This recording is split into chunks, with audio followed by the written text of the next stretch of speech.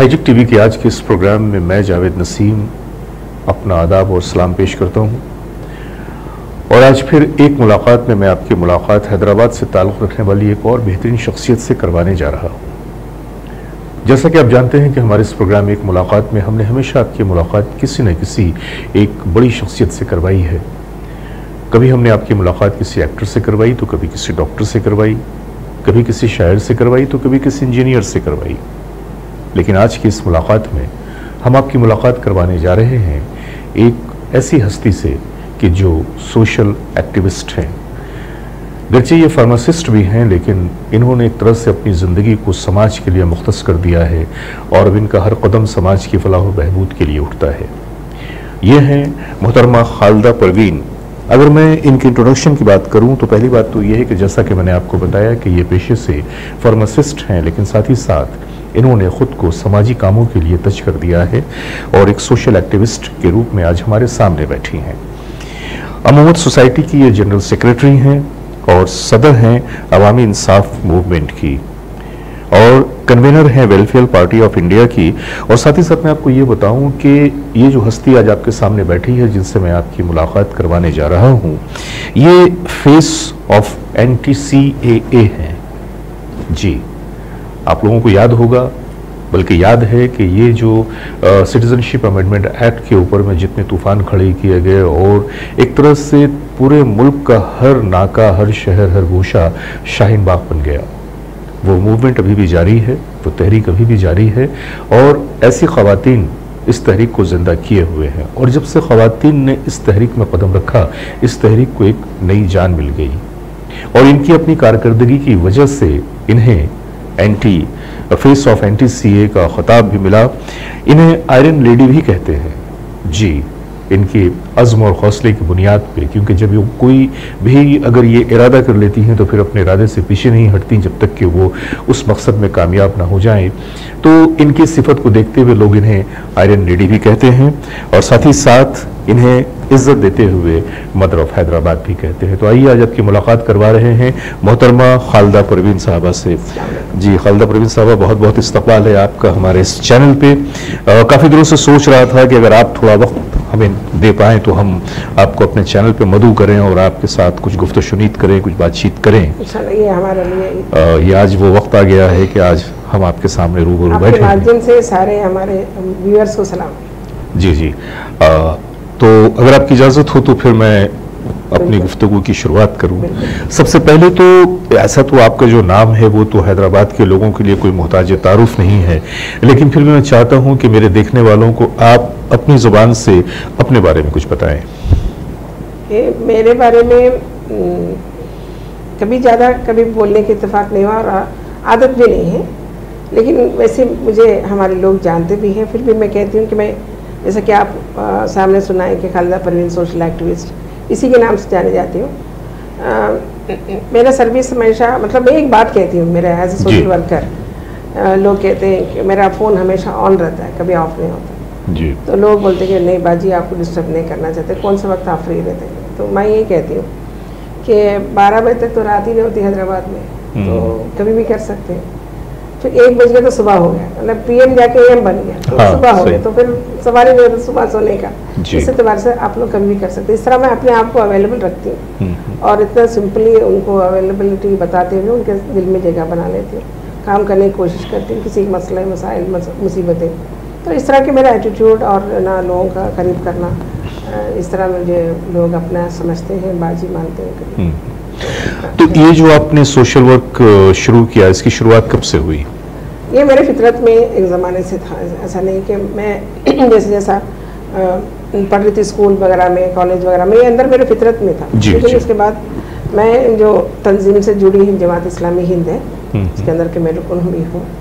उसके उसके अंदर जो क्योंकि कुरान और हदीस के जो तालीमात जो होते हैं उसके अंदर भी खदमत खल का जो मौजू है उस पर काफ़ी चीज़ें और वसल्लम की जो सीरत में जो उनके अंदर के सब्र और इस्तकामत और सारे जो बातें थी और साथ साथ किस तरह अपने आप को दूसरों के काम में लगाते थे। बिल्कुल। दूसरों के मसले मसाइल पे गौर करते थे। बीइंग लीडर होके हम्म, तो उस वक्त तो एक कमांडर इन चीफ भी रहते थे लेकिन एक छोटे से मसले पे वो गौर करते थे। जी। तो इस तरह कई ऐसी चीज़ें आपकी सीरत में हमने पढ़ा था।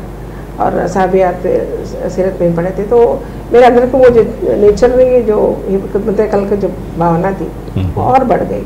और इसी तरह जो है ना अपने आप को उस तरफ़ लाने में बहुत मदद करी और बेसिक इस्लामिक टीचिंग्स है तो साथ साथ हम देखें दुनिया में भी मदद तेरेसा है और भी लोग हैं जो जिस तरह नाम करिए जो काम किए हैं। हम वो भी देखा कि हाँ खातन होने के बाद भी ये भी करते हैं। तो हम्म। वैसे इस्लाम की तालीम तो है लेकिन आज के ज़माने के हिसाब से भी हमको करना चाहिए।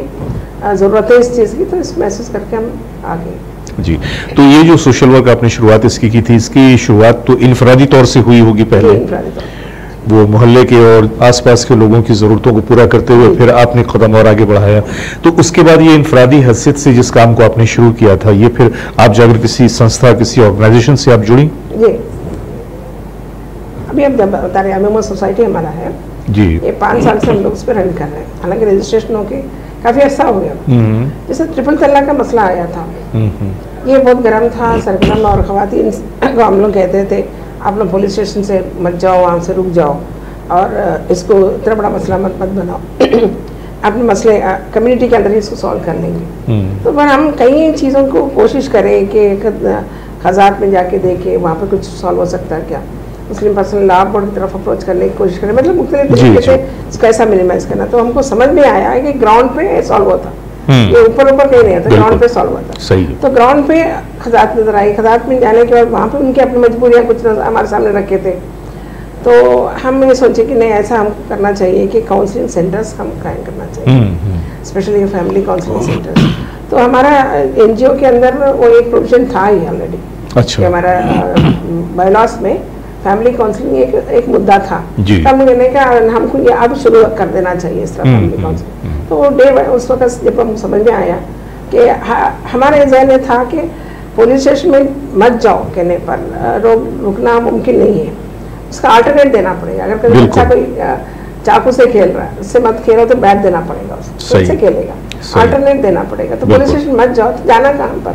तो हमारे जहन में आया कि हर पुलिस स्टेशन के अहाता में हम्म। एक काउंसलिंग सेंटर अगर हम बना दिया जाए। हम्म, हम्म। इस पर हम कामयाब हो गए। तो। खातन वहाँ नहीं जाएँगी पहले यहाँ हम्म, बिल्कुल क्रिमिनल केसेस अगर हो जाएगा कुछ मामला ज़्यादा बढ़ जाएगी पुलिस के बगैर ये मुमकिन नहीं है तो हम फ़िल्टर कर सकते हैं। इस तरह हमारे जहन आया था। उसके बाद हम काउंसलिंग सेंटर खोले। काउंसिलिंग सेंटर में सिर्फ़ फैमिली काउंसलिंग नहीं है। इसके अंदर स्लम्स के बच्चों को हम लोग प्रमोट करके तो ये जो आपने काउंसलिंग सेंटर्स खोले जैसा कि आपने बताया कि आपने चाहा कि पुलिस स्टेशंस के अहाते में तो ये आपके सेंटर्स जो चलते हैं काउंसलिंग के ये पुलिस स्टेशन के अहातों में चलते हैं या इसके लिए आपने कोई हम लोग तो हमारा प्लान था कि हर पुलिस स्टेशन के ये प्लान था आपका, लेकिन फिर- लिमिट्स पे रहना चाहिए उस तरह। तो इस वक्त- नहीं हो पाया हम सिर्फ़ हमारा काकतीय नगर टोली चौकी में एक है और सिकंदराबाद में एक है और आगे हम खोले नहीं क्योंकि अच्छा। कई वजूहत है जिसने खोलने की वजह से लेकिन ये जो सेंटर्स चल रहे हैं हमारा हमारा जो काउंसलिंग का तरीक़ेकार यूनिक है हैदराबाद में इस तरह का काउंसलिंग सेंटर नहीं है एट प्रेजेंट मैं जी। आ, कह सकती हूँ क्योंकि एक तो बेसिक उसका इस्लामिक तालीम है प्लस उसके अंदर जो है ना कुछ कानूनी मसाइल वगैरह आए तो उसको कैसे लीड करना मैनेज कैसा करना ये इस तरह की बातें भी हम समझाते तो इस तरह हमारे पास सक्सेसफुली हमारा फिफ्टी परसेंट मसले तो हमारे पास सॉल्व हो जाते हैं। तो अभी आपके पास दो सेंटर्स हैं एक जो है वो टोली चौकी में है और दूसरा सिकंदराबाद। में है। टोली चौकी के कौन से इलाके में आपका ये सेंटर काम कर रहा है? जी जी। टोली चौकी में कहाँ पे ये सेंटर आपका काम कर रहा है? आ, शाहगोस होटल है। जी। उसके पीछे काकतीय नगर सालारजंग कॉलेज अच्छा जी जी। उसके अंदर double six building number ground floor में हमारा सेंटर अच्छा और सिकंदराबाद में? सिकंदराबाद में अल्फला स्कूल है स्कूल के सामने शांति नगर में है। अच्छा तो ये दोनों सेंटर्स जो आपके काम कर रहे हैं तो इसमें यहाँ से आपके तजर्बात कैसे मिल रहे हैं कि आपको उन केसेस में कामयाबी हासिल हो रही है फिफ्टी परसेंट केसेस हम सॉल्व कर पा रहे हैं the- हमारे पास रजिस्टर होता है केसेस उसमें फिफ्टी परसेंट हम कामयाब हो रहे हम्म। हैं ट्वेंटी परसेंट ऑन गोइंग रहता है मतलब दोनों का भी चलता रहता है जी, जी। थर्टी परसेंट अपस्कैन भी आते कभी हो सकता है कभी आप आपस में सुलह कर लिए हो हम्म। तो चले गए हो या तो ड्रॉप कर दिए हो इस तरह होता है। लेकिन सेवेंटी परसेंट प्रोसेस तो हमारे पास ही है मतलब कामयाबी हो। तो ये जो है ये किसी एनजीओ कोई एनजीओ नाम अमूमत सोसाइटी हमारे अमूमत सोसाइटी जो आपकी है वही है। उसी के ज़रिए आप ये खिदमत खल्क कर रही है। इसके अलावा और आपकी सोसाइटी जो है वो और किस तरह के काम में देखिए है? हमारे अतराफ में चार स्लम्स का आइडेंटिफाई करें हम लोग। जी। जरा चिर्रा है फसलांसर है हकीम पेट और गोलकुंडा। इसमें से बच्चियाँ जो 18 अबव रहते हैं। जी। वो जो स्कूल ड्रॉप हो गई वो लोग। और वो पढ़ना चाहते हैं किसी वजह से पढ़ नहीं सके उस वक्त में। अभी पढ़ना चाहते हैं लेकिन कोई रास्ता नहीं है। पैसा नहीं है। उनके लिए तालीमी हाँ, सिलसिले को फिर से जारी करना हम ये बहुत बड़ा काम है ये बहुत ही बड़ा काम है। मैं समझता हूँ कि आज के दौर में तालीम से बड़ी कोई चीज़ कभी कभी भी नहीं रही। तालीम क्योंकि तालीम का मवाजना तो आप किसी चीज़ से कर ही नहीं सकते। और खुद हमारे रसूल अकरम सल्लल्लाहु अलैहि वसल्लम का फरमान है कि अगर तुम्हें इल्म के हुसूल के लिए चीन भी जाना पड़े चीन के नाम पे आप लोग फ़िलहाल खौफजदा ना हो। तो ये रसूल अकरम का इरशाद मुबारक था कि अगर इल्म के हुसूल के लिए तुम्हें चीन भी जाना पड़े तो गुरेज ना करो। तो ये तो थी एक बात इल्म के हवाले से लेकिन इसका थोड़ा सा और आप चाहिए अपना ना- अपने नाजरीन के लिए कि हम टॉस एग्ज़ाम निकालते हैं इक्वल टू टेंथ है। हम्म, फिर वो बच्चियों को फिर अगर हम ऐसे स्लम भेज दें तो फिर बाद में कुछ काम नहीं बनता। तो हम जैसे एग्ज़ाम लिखने के साथ हमारे पास कंप्यूटर सेंटर है। हम्म। हम उन लोगों को फ्री कंप्यूटर बेसिक सिखाते रहते हैं। मैं उसी तरफ़ आ रहा हूँ क्योंकि मैं ये बताना चाह रहा हूँ कि ये जो काम आपके एनजीओ की तरफ़ से मोहम्मद सोसाइटी की तरफ़ से हो रहा है ये एक इंतहाई काबिल कदर ये कदम है।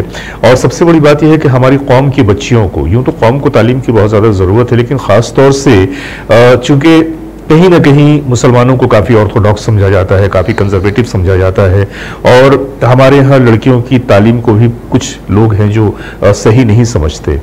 लेकिन ऐसे में आज के हालात के पेश नज़र मैं समझता हूँ कि बच्चियों के लिए और ख़ास तौर से हमारी कौम की बच्चियों के लिए बहुत ज़रूरी है कि उन्हें हम तालीम दिलवाएँ। अब इसमें क्या है कि कुछ लोग बा, हैं वो अपनी बच्चियों की तालीम का इंतज़ाम कर सकते हैं। कुछ ऐसी भी बच्चियाँ हैं जो हालात के तहत वो तालीम को पूरा नहीं कर सकती या वो ड्रॉप आउट हो जाती हैं या टेन के पहले ही उनको रुक देना पड़ता है या रुक जाती हैं, ऐसी बच्चियों की तालीम के सिलसिले को दोबारा बिल्कुल कंटिन्यू करने के लिए खालदा परवीन साहबा और इनकी जो एसोसिएशन है अमूमत सोसाइटी ये काफ़ी अच्छा काम कर रही है और जैसा कि मैंने आपको बताया कि इसके दो ब्रांचेज हैं, एक टोली चौकी में और दूसरी सिकंदराबाद में। और जी। तो इसमें कंप्यूटर बेसिक थ्री मंथ्स का कोर्स होने के बाद, इस दरमियान में उनके हम लोग अच्छा काउंसलिंग भी करते हैं कि एक अच्छा सिटीजन बनने के लिए एक अच्छी लड़की एक अच्छी होम मेकर या अच्छी वाइफ इस तरह के आगे कहीं होती है? उनके पेरेंट्स के भी होते हैं। उसके बाद उन हमारे पास एक एक और एनजीओ है जो सफ़ा नाम के एन जी यहाँ पर हैदराबाद में काम करता है। वो। लोग के साथ हमारा। अंडरस्टैंडिंग है। हम ये इनमें से जो बच्चियाँ असिस्टेंट नर्सेस ट्रेनिंग करना चाहते हैं अच्छा। उनके पास भेज देते हैं। अच्छा। तो वो वहाँ पे फाइव फाइव मंथ्स कोर्स उनके पास फ्री है वो भी गवर्नमेंट वो नर्स की ट्रेनिंग के लिए? असिस्टेंट नर्सेस असिस्टेंट नर्स की ट्रेनिंग के लिए ओके तो ओके इसमें से वो बच्चियाँ कुछ वहाँ चली जाती हैं। हम्म, हम्म, वो उसके बाद फाइव मंथ्स के बाद वो लोग उनको पोस्टिंग्स देते हैं रेनबो हॉस्पिटल्स वगैरह में। ओके इस वक्त पाँच बच्चियाँ हमारे जॉब करती है। वाह तो माशाल्लाह। मतलब हमारा मेन है कि थोड़े करें लेकिन मुकम्मल करें। एक- होना चाहिए, फैमिली को उठा के लाएँ इकोनॉमिकली उनको स्टेबल करें। जी। इस तरह के हम काम कर जी, माशाल्लाह। ऐसे तो हमारी मुलाकात और हमारी बात बहुत सारे लोगों से होती है, लेकिन उसमें कुछ लोग वाकईतन ऐसे होते हैं कि जिनकी ज़िंदगी अपने लिए तो कम होती है, दूसरों के लिए ज़्यादा होती है, समाज के लोगों के लिए ज़्यादा होती है। और आज हमारे सामने ऐसी एक शख्सियत बैठी हैं, मोहतरमा खालदा परवीन के, जिन्होंने जैसा कि मैंने बताया कि अपनी ज़िंदगी को समाज के फलाह के लिए, उनके बहबूदी कामों के लिए बिल्कुल मुख्त कर दिया है। हम इनसे बातें और भी करेंगे, लेकिन इस वक्त हम लेते हैं एक छोटा सा ब्रेक, मिलते हैं ब्रेक के बाद। high-tech furnishing world vertical blinds furnishing blinds roller blinds interior blinds office blinds all kind of blinds available here services at your doorstep store address Mehdipatam Talagadda Hyderabad Please contact on this number 9700647474. आपकी सेहत और तंदुरुस्ती का राज छुपा है आपके मुँह की सफ़ाई और दांतों की मजबूती में तो ख्याल रखिए और दांतों से जुड़ी हुई किसी भी तकलीफ़ के लिए कांटेक्ट कीजिए। Redesign redesign Banjara Hills city centre के बगल में। रीडिज़ाइन ब्रेक के बाद एक बार फिर मैं जावेद नसीम हाजिर हूँ आपके सामने प्रोग्राम एक मुलाकात लेकर। और जैसा कि आप जानते हैं कि आज हम आपकी मुलाकात करवा रहे हैं सोशल एक्टिविस्ट मोहतरमा खालदा परवीन से। इनसे हमने अभी बातें की, इनके कुछ सोशल वर्क के बारे में। और अब गुफ्तगू के दूसरे हिस्से में हम इनसे कुछ और सवाल करेंगे और उन सवालों में जो पहला सवाल मेरा होगा आपसे वो ये कि बींग अ सोशल एक्टिविस्ट आपने बहुत सारे इश्यूज़ को रेज किया होगा उससे लेकर आप हुकूमत के सामने आई होंगी। ये जो अ, पिछले तकरीबन ढाई महीनों से एक जो सिलसिला चला सी ए का और एन आर सी का तो इस मामले में आपकी क्या गतिविधि रही? आपने किस तरह से आपने इसमें अपनी शमूलियत को अपने दर्शाया? क्योंकि मैंने ख़ास तौर से आपसे इसलिए सवाल किया है कि आपको बाकायदा फेस ऑफ़ सीए करार दिया गया है। तो ये क्या क्या हुआ था ये इसके पीछे? मुझसे कुछ और भी टीवी चैनल्स वालों ने पूछा था इस सिलसिले में। आप तो सोशल वर्कर है आपका वो जो सोशल काम कर रहे थे प्रोटेस्ट में आपका क्या लेना देना इस जी बात जी। तो मैं बहुत सोच समझ के इसमें कदम रखी थी। इसलिए कि हम वुमेन एम्पावरमेंट के नाम से हमारा काम चलता है। हम्म। तो एजुकेशनल एम्पावरमेंट इकोनॉमिकल एम्पावरमेंट हर हर तरीके के एम्पावरमेंट होगा। तो जुल्म से बचाना उसको। जब हम सी ए और एनआरसी के साथ जोड़ के जब देखते हैं हम लोग हम्म, हम्म तो एनआरसी में एनआरसी विक्टिम्स ज़्यादा अ, जो जो- जो होते हैं जैसा कि माइनॉरिटीज़ है और आदिवासी से और एस सी एस टी है वुमेन भी है। तो वुमेन पे ऊपर इफ़ेक्ट पड़ ही पड़ रहा है जैसा कि आमतौर पर होता है वुमेन सेक्शन पे पड़ता है। तो हम सोचे कि वुमेन के ऊपर भी इसका इफ़ेक्ट बहुत ज़्यादा पड़ने वाला है। तो पढ़ने से पहले उसको रोकना चाहिए। तो इससे तबासी ये मेरा मेरा अपनी ज़िम्मेदारी है। दरअसल अगर आप देखिए हमारे मुल्क में ये एक बड़ा ही एक मतलब कहना चाहिए कि मज़ा खेज ये बात लगती है कि हम बेटी पढ़ाओ बेटी बचाओ और गर्ल चाइल्ड केयर और इसकी उसकी बहुत तरह की बातें हम लोग करते हैं और तरह तरह के प्लान्स वगैरह भी हमारे यहाँ सरकार की तरफ़ से जारी किए जाते हैं। लेकिन मैंने देखा कि जब भी कोई एक ऐसा मुद्दा आता है कोई ऐसी बात आती है तो सबसे ज़्यादा जो परेशान होती हैं और डायरेक्ट जिनको हिट होता है वो हमारी खातन हमारी औरतें ही होती हैं। मिसाल के तौर पर अगर मैं आपको बताऊँ कि अगर ये जो अभी डीमोनिटाइजेशन का जो मामला हुआ था, नोटबंदी का मामला हुआ था, ऐसे तो पूरा मुल्क मुतासर हुआ और कारोबार मुतासर हुआ, लोग मुतासर हुए, लेकिन वो खातन जो घरों में बैठी थी, वो तो हद से ज़्यादा मुतासर हुई, क्योंकि उनके घरों में रखे हुए, क्योंकि हर खातून जो है वो, उनकी अपनी एक सेविंग्स होती है जो किसी और की निगाह में नहीं होती। हाँ किसी और की शौहर की नज़र में भी नहीं होती। वो बेचारी काट कपट के इधर उधर करके उनकी अपनी एक सेविंग्स को जमा करती है जो बाद में घरेलू मद में ही वो काम आता है बच्चों की तालीम या शोहर की बीमारी या किसी भी सिलसिले में। ऐसी लाखों खातन को डिमोनिटाइजेशन ने बहुत ही फोर्सफुली हिट किया। ये हुआ। उसके बाद आगे की तरफ़ अगर बढ़ते हैं तो ये सीए का जो मामला है, कई बार हमारे नेताओं ने ये सवाल उठाया कि इनके मर्द सामने क्यों नहीं आते? इन्होंने अपनी औरतों को क्यों सामने कर दिया है? लेकिन मैंने देखा कि वो ये भूल जाते हैं कि जो लोग औरतों पर एतराज़ करते हैं, उन्हें इस दुनिया में लाने की बिना भी औरत ही है। और एक औरत के बारे में पता नहीं कैसे, किस तरह से इस तरह की बातें कर जाती हैं, क्योंकि अगर हमारे एतबार से कहा जाए तो औरत जो है वो इंसान के लिए एक साथी होती, एक शरीक हयात होती, शरीक सफ़र होती तो ज़ाहिर सी बात है कि अगर एक गाड़ी चल रही है तो उसके दोनों पहिए, दो पहिए होंगे तभी वो गाड़ी चलेगी। और इसमें अगर हम औरत को किनारे कर दें तो ज़ाहिर सी बात है कि वो ज़िंदगी की गाड़ी भी उस रफ्तार से नहीं चल पाएगी जिस रफ्तार से हम उसे चलाना चाहते हैं। और इसके लिए ज़रूरी है कि हम वीमेंस को एम्पावर करें, उन्हें कुछ इख्तियार दें उन्हें एक तहफ़ का एहसास अता करें, उन्हें बताएँ कि हम जितने फ़ुआल हैं, समाज में आप भी हमारे शाना बशाना वही कदर रखती हैं। आपकी भी पोजीशन वही है। तो जब ये सीए का मामला हुआ और ये मामला चल रहा था कि अचानक हमारी खवातीन सड़कों पर उतर आई और जब से उन्होंने सड़कों पर कदम रखा सूरत हाल बिल्कुल बदल गई। और उन सूरत हाल के बदलने में कुछ लोगों ने बहुत ही एक्टिवली काम किया, जिसमें एक मोहतरमा खालदा परवीन भी हैं कि इन्होंने ऐसी एक्टिविटी दिखाई कि इन्हें लोगों ने फेस ऑफ़ एंटी का खिताब दे दिया। मैं चाहूँगा कि इस बारे में आप हमारे दर्शकों को हमारे देखने वालों को कुछ बताएँ आप। मैं आप जो सवाल मतलब आप जो बोल रहे थे जी। उस वक्त दरमियान में आपका गुफ्तु में यह बात आई थी कि हमारे खातन आगे इस मामले में आई और मर्द लोग कुछ इतराज़ भी करते हैं जी। बाहर के।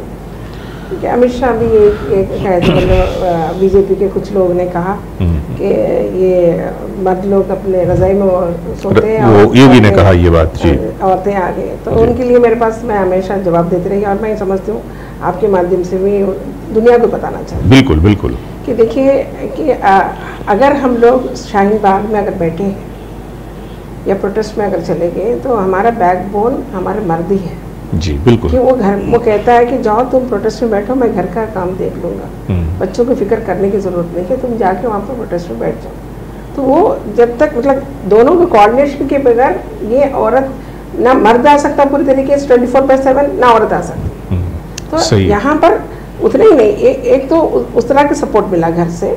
दूसरी बात हमारे मर्द लोग हमारे अतराफ में हमारा प्रोटेक्शन के ठहरे हुए हैं। बिल्कुल बिल्कुल। हमारे नौजवान बच्चे प्रोटेक्शन प्रोटेक्शन के लिए ठहरे हुए हैं। हम बीच में बैठे बैठ के क्या कर रहे हैं वहाँ? करें कुछ हम्म। नहीं सिर्फ़ बैठे हुए वहाँ पर। तो हमको कोई बाहर तोड़ना नहीं है कोई रस्सी काटना है, कुछ नहीं है बैठना ये तरह की समझिए कि मोरल और इमोशनल सपोर्ट देना है बिल्कुल। जो कि आप लोगों से हमें मिल रहा है। और इसकी बहुत ज़्यादा ज़रूरत भी है क्योंकि फैमिली का भी कोई मेंबर उसी वक्त आगे बढ़ता है ज़िंदगी की राहों में कि जब उसे फैमिली का एक सपोर्ट मिलता है। तो अगर देखा जाए तो ये जो जंग है ये जंग तो धर्म और मज़हब की है ही नहीं जैसे कि सरंग देने की कोशिश की गई। दिए। ये धर ये धर्म और मज़हब की जंग नहीं बल्कि ये जंग जो है ये हक और इंसाफ की जंग है एक बातिल और इंसाफ की जंग है। और इसमें जिस तरह से यहाँ के हिंदुस्तानी अवाम को दबाने की निचोड़ने की कोशिश की जा रही है और एक नफरत की जो एक फिजा कायम की गई है मैं तो फिर भी अल्लाह का शुक्र अदा करता हूँ कि इस वाकये के बाद से कम से कम बहुत सारे लोगों की आँखें खुली। गलतफहमियाँ दूर हुई हैं, जी। जहन में ये था बताया जाता था कि खवातीन मुस्लिम खवातीन कुर्के के अंदर बिल्कुल मठस रहते हैं कुछ दिमाग चलता नहीं हम्म। है ये बिल्कुल बेकार के लोग हैं इनको सियासत से कोई मतलब नहीं है सारे जो चीज़ें थी वो सारी चीज़ें जो ना बेनकाब हो गई। फाश फाश हो गया हम ज़रूरत तहत घर से बाहर निकल यानी कि नकाब में रहते हुए भी- कामयाब नहीं हो नकाब में रहते हुए भी आपने बहुत सारी चीज़ों को और बहुत सारे झूठ को बेनकाब कर दिया। बिल्कुल। ये ये ये कारनामा किया हमारी औरतों ने। औरतों के ऊपर इतने इल्ज़ाम लगाए जी। पाँच सौ रुपये लेके आके बैठे हैं और कहते हैं कि उनकी मर्दों में जी। चलाए। फिर इन इन्हीं औरतों की वजह से आ, आपकी कुर्सी हिल गई। बिल्कुल बिल्कुल। एक इंच में एक कदम पीछे नहीं हटेंगे आप बोले। हम्म। पीछे हटना पड़ा। तो इतना गुरूर तकबर के साथ मतलब इस तरह करना नहीं है। और एक सेक्शन ऑफ़ पीपल को आप इतना कितना गिराएँगे कितना आप जलील करेंगे। एक। वक्त आता और मैं अभी भी कहती हूँ कि चार दीवारी के अंदर बैठने वाली औरत जब ज़रूरत पड़ने पर घर से बाहर आकर लड़ती है लड़ना शुरू करती है कामयाब हुए तक नहीं जाती वहाँ से शाहीन बाग आज भी खाली नहीं हुआ। और फिर सबसे बड़ी बात यह है कि हम मर्द हजरात चाहे दुनिया में जितने बड़े पर्वत हम बिल्कुल उसको जो है सर कर लें और जो भी बड़े बड़े कारनामे अंजाम दे लें। लेकिन कहीं ना कहीं हमारे पीछे, वो कहा जाता है ना कि हर कामयाब मर्द के पीछे एक औरत का हाथ होता है, क्योंकि वो इमोशनल सपोर्ट देना, वो उत्साह पैदा करना, वो मिजाज को, वो ताजगी देना, ये हमारी औरतों का ही काम होता है। और अब ये है कि सूरत हाल थोड़ी सी इस तरह से बदली है कि हर कामयाब के मर्द के पीछे एक औरत का हाथ नहीं होता बल्कि हर कामयाब मर्द के शाना बशाना एक औरत होती है जो उसके साथ साथ चलती है और ज़िंदगी की राहों में उसे कामयाब और कामरान करती हैं। और ये हमारे लिए बड़ी खुशी की बात है कि आज हमारी औरतें भी बेदार हैं। उन्होंने अपने हकूक़ को समझा है और न सिर्फ़ ये कि समझा है बल्कि अपने हकूक़ को पाने के लिए वो बरसरे पैकार हैं और हम मर्द उनके साथ हैं। एक बात इस माध्यम से बोलना चाह रही। थी प्रोटेस्ट करने वाले खवातीन से। मुल्क भर के जी। हैदराबाद में भी मुल्क भर में क्योंकि हर प्रोटेस्ट में हम देखते हैं कि कुछ खवातीन बिल्कुल बेबाग होकर घर से आए हैं बहुत जज्बे के साथ आए हैं बहुत ऐसा वो लगता है कि ये लोग एक बिल्कुल कामयाब हासिल करके जाएँगे इस तरह के एक इमोशंस के साथ आए हैं हम्म, हम्म। तो मैं इन एंड मेरे बहनों से मैं कहना चाहती हूँ पूरे मुल्क भर के बहनों से चाहे लखनऊ में हो दिल्ली में हो या बेंगलुरु में हर जगह के खवातीन से कहना चाहती हूँ कि हमारा इमोशंस को हमको थाम के रखना चाहिए। बिल्कुल। और हम कभी भी हमारे इस्लामिक टीचिंग से बाहर हट के नहीं जाना चाहिए। चाहे कोई तारीफ़ करे या हमको कोई जलील करने की कोशिश करे जी या हम कोई प्रोवोक करें कुछ भी हो जाए। हमको प्रोवोक करने की कोशिश की जाती है हमको तारीफ़ करके हमको जलील करने जाता।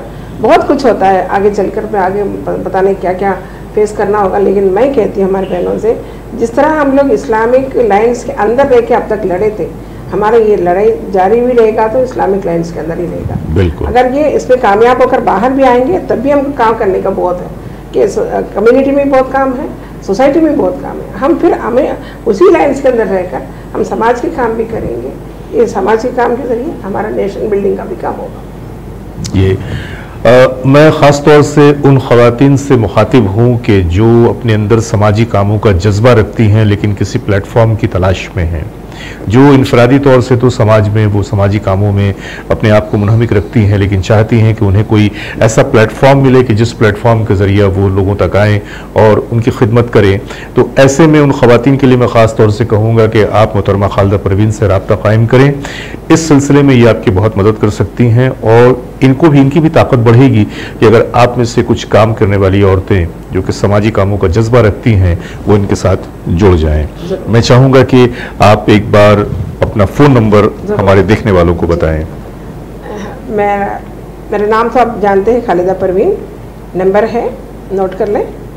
Nine seven double zero one zero nine zero eight three दोबारा बोलती हूँ। जी। Nine seven double zero one zero nine zero eight three मोहतरमा खालदा परवीन का नंबर भी अब आप लोगों के पास पहुँच गया है और मैंने खास तौर से ये नंबर आप लोगों के सामने इसलिए किया है दिया है कि अब आप न सिर्फ़ ये कि अपने मसाइल के लिए इनसे रुजू कर सकती हैं बल्कि अगर इनसे जोड़ना चाहें तो भी आप इनसे रबता कायम कर सकती हैं इनसे रुजू कर सकती हैं। आगे की तरफ़ बढ़ते हुए मैं आपसे एक सवाल ये करना चाहूँगा कि आपको आयरन लेडी का खिताब दिया गया। तो वो कौन सा कारनामा था? वो कौन सी ऐसी बात थी कि जिसकी वजह से लोग आपको आपके नाम के बजाय आयरन लेडी पुकारना शुरू कर दिया उन्होंने? ये इसका जवाब तो पब्लिक ज़्यादा अच्छी तरीके से दे सकती है नहीं पब्लिक तो दे सकती है लेकिन चूँकि पब्लिक आपको आयरन लेडी कहती तो मैं चाहूँगा कि वो आप अपनी ज़ुबान से बताएँ कि हाँ कोई खास था। कोई भी बात रखूँगी रखती हूँ किसी मजलूम के साथ रहकर जब खड़ी हो मजलूम के साथ खड़ी होती थी तो इंसाफ के लिए बहुत ज़ोर की आवाज़ लगाती हूँ। उस वक्त मैं किसी से नहीं करती चाहे पुलिस हो या पॉलिटिशियन हो या कोई हो। जी। तो इस तरह और भी इश्यूज़ जैसा कि इससे पहले टोली मस्जिद के वक्फ लैंड के सिलसिले में भी इशू पे हम खड़े हो गए थे। लोग ने बताया कि आप इस पे बात कर रहे हैं तो कैसा होगा? हम्म। कुछ मैं बोली ये ये चीज़ें मुझे डरा नहीं सकते इसलिए कि ईमान मेरा मज़बूत है। और मैं आलिन इनकाउंटर के मौके पे उस सिलसिले में मैं कुछ स्पीच वगैरह दे के आई थी। लोग जब भी बताए थे कि आप इनकाउंटर के बारे में ऐसे बोल दिए। जी। शायद आपको एहतियात करना पड़ता। तो मैं उस वक्त में सोची मैं क्यों इतना बिलबाग बेबाक बोलती हूँ हम्म। तो मुझे समझ में आया ये कि मैं वहाँ भी आपके सामने गुजराती हूँ कि मैं सर पे कफन मिल के निकल। जी। मौत से तो डर नहीं। तो मतलब ये जो सफ़ेद दुपट्टा आपने बाँध रखा है ये अब से आप एक कफन का नाम देती हैं कि आपने हाँ, सर पे कफन सर पे मैं बाँध मेरा कफन के लिए काम आ जाएगा। जी जी। तो मैं जो है ना उस से नहीं मतलब वो आपका जो है। अज़्म पहम है और जो सच्चाई एक्चुअली क्या होता है कि जो बाईमान शख्स होते हैं उनके साथ सच्चाई की एक ताकत होती है। और मैं समझता हूँ सच्चाई अगर सच्चाई की ताकत से बड़ी तो कोई ताकत नहीं है क्योंकि जब आप एक सच और हक बात बोलते हैं तो कहीं ना कहीं वो ताकत अनदेखे तरीके से आपके साथ होती है। और आज मैं समझता हूँ कि हमारे शाहीन बाग में भी जो खवतान बैठी हैं वो इसी लिए बैठी हैं कि वो सच्चाई की ताकत उनके साथ है। और जब सच्चाई की ताकत उनके साथ है तो फिर खुदा रब्बुल इज़्ज़त वो भी उनके साथ है। साथ जी जी। चलते चलते मैं एक बात आपसे और पूछना चाहूँगा कि आपको लोग मदर ऑफ़ हैदराबाद भी कहते हैं।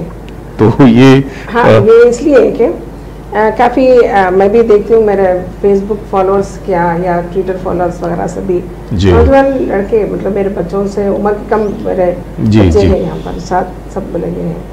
सब आंटी कहते हैं तो ज़ाहिर बात है माँ के बराबर। हम्म। तो ज़्यादातर फॉलोअर्स मेरे मेरे फैंस समझे कि यही लोग हैं। हम्म हम्म। अब ज़ाहिर बात सबके लिए माँ तो माँ माँ देसी हो सब कहते हैं माँ के बराबर है आंटी है।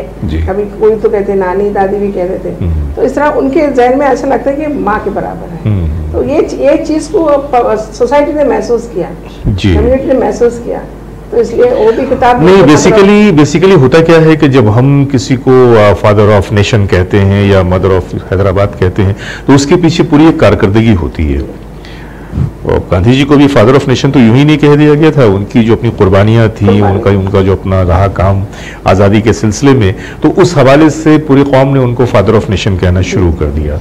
तो कहीं ना कहीं मुझे लगता है कि ये जो आपकी कारकर्दगी है ये जो समाजी आपकी एक्टिविटीज़ हैं और जिस तरह से आप गरीबों के लिए काम कर रही हैं है। हाँ उनके उनके लिए काम कर रही हैं तो आज के नौजवान या वो लोग जो इस दौर के हैं कहीं ना कहीं आपको अपने मामला में एक नजात दहिंदा समझते हैं। उन्हें लगता है कि जिस तरह से एक बच्चे की हिफाजत उसकी माँ करती है। और एक बच्चा जो है वो माँ की आगोश में जाके खुद को महफूज महसूस करता है। शायद यही वजह है कि वो लोग जो आपकी आगोश में आ जाते हैं उन्हें लगता है कि मैं अब माँ की आगोश में आ गया हूँ और अब मैं महफूज हूँ। और शायद इसीलिए आपको लोग मदर ऑफ़ हैदराबाद कहते हैं। जी बिल्कुल शायद वो भी होगा वो भी एक वजह होगी। एक एग्जांपल बताती हूँ। जब मल्लेपल्ली प्रोटेस्ट हम कर रहे थे मल्लेपल्ली में वो अचानक ही हुआ था। ऐसा कोई प्लांट नहीं था जाकर बैठ गए थे उस वक्त हम हालाँकि ये सोचे थे कि कोई डिटेन नहीं होगी जैसा पुलिस बोलेंगे उठ जाओ तो उठ, उठने का हमारा पूरा प्लान था। हम्म, हम्म, कोई डिटेन होने का कोई प्लान नहीं था कुछ ऐसा नहीं था।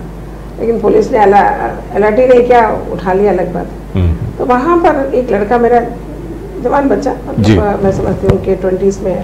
वो बच्चा मेरा हाथ पकड़ा था। कि जब हमको डिटेन कर रहे थे तो मेरा हाथ पकड़ा हुआ था। तो मतलब उसको उतना नहीं था कि मैं साथ हूँ। तो मैं भी उसका हाथ पकड़ी हुई थी।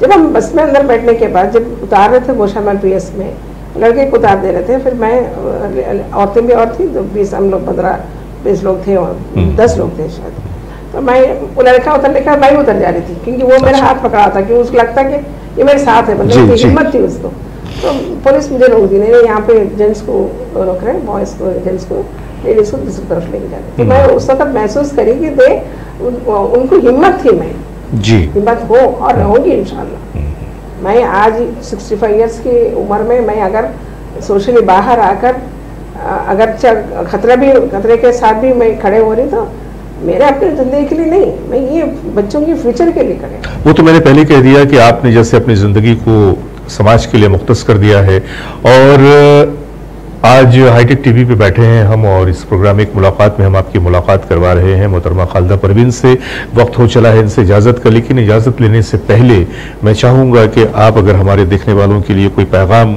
अगर देना चाहें तो वो ज़रूर दीजिए। पैगाम मेरे सारे बहनों के लिए यही है कि कि हम हाँ हम खवातीन जिस तरह के सीरत में हम देखते हैं तो उस ज़माने में भी खातन अपने पर्दे में रहते हुए पूरे बहादुरी के काम अंजाम देती थी, वक्त पड़ना पर। तो उसी तरह आज के हालात के अतबार से, हालात हाजरा में हमारा रोल जो भी हो सकता, हमारे बच्चों की फ्यूचर को नज़र में रखते हुए हमारा जो रोल हो सकता है, बगैर शर्माए, बगैर घबराए हमको बाहर आके करना है। और एक पैगाम है, शर्माना और डरना ये दो चीज़ औरत के जेवर है तो भी जेवर है। लेकिन कहाँ शर्माना है, कहाँ डरना है, ये भी बताना चाहती हूँ। क्योंकि गलत काम करने का सोचे सोचे जब से करे तक हमको डरना है। अगर अल्लाह इससे देखेगा अल्लाह को मालूम हो गया तो क्या होगा? इससे अल्लाह से डरना है। गलत काम सोचने पर और करने पर। अगर गलत काम नहीं है तो कर देना है। अगर सपोज़ गलत काम हो गया हमसे तो फिर चलो शर्माना है। ये दो ही जगह है जहाँ पे हमको डरना है न सिर्फ़ ये शर्माना है बल्कि उसकी तलाफी करनी है। इससे हट के कोई अच्छा काम करना हो कोई प्रोडक्टिव कंस्ट्रक्टिव काम करना हो तो ना शर्माने की ज़रूरत है ना डरने की ज़रूरत है। हमारा अल्लाह है और हम अपने बच्चों के लिए अपने फ्यूचर के लिए अपने देश के लिए जो भी कंस्ट्रक्टिव काम है हम करना है क्योंकि इसका इस ये नतीजा हमारे आखिर से जुड़ी हुई है। हर चीज़ हमारे ईमान से जुड़ी हुई है। तो आखिर के लिए हमारे लिए जी, जी। अच्छा होगा बहुत ही खूबसूरत पैगाम दिया इन्होंने। और अ, मुझे यकीन है इस बात का कि आज की इस मुलाकात को आप लोगों ने काफ़ी पसंद किया होगा। आज की मुलाकात का हम यहीं पे अख्ताम करते हैं और फिर मिलते हैं। अगले एपिसोड में। जब तक के लिए अपने दोस्त, अपने होस्ट जावेद नसीम को इजाज़त दीजिए। खुदा हाफिज़।